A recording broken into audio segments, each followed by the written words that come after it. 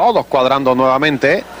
Y ya abren las compuertas y están en carrera. Luchan los primeros 75 metros. Cachita, Panchón hay Special Captain. A medio cuerpo en el cuarto. Churumba, uno y medio en el quinto. La amanecida.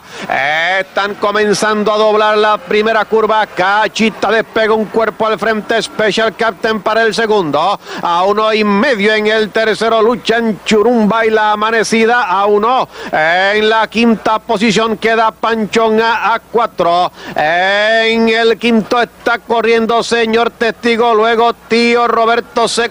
y hoy la fuera. Se acercan al poste de los mil metros y Special Captain pasa por un cuerpo a la delantera Churumba. Para el segundo el pescuezo Cachita en el tercero a uno. En el cuarto la amanecida a uno. En el quinto Panchón a dos. En el sexto están luchando. Señor testigo Sleri Oil. También Alstuni adentro tío Roberto C.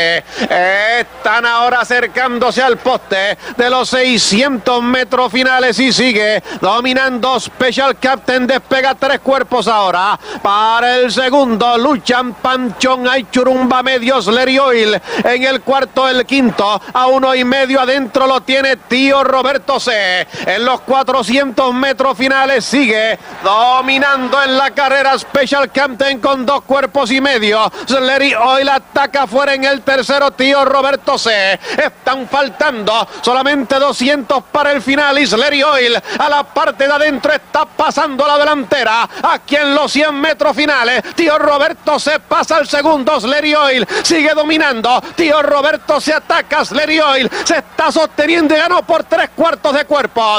Segundo, tío Roberto se para el tercero. Lucha en Luis Iván y Special Captain. Va atrás Don Prudina Alston. Finalmente, la última posición de la amanecida.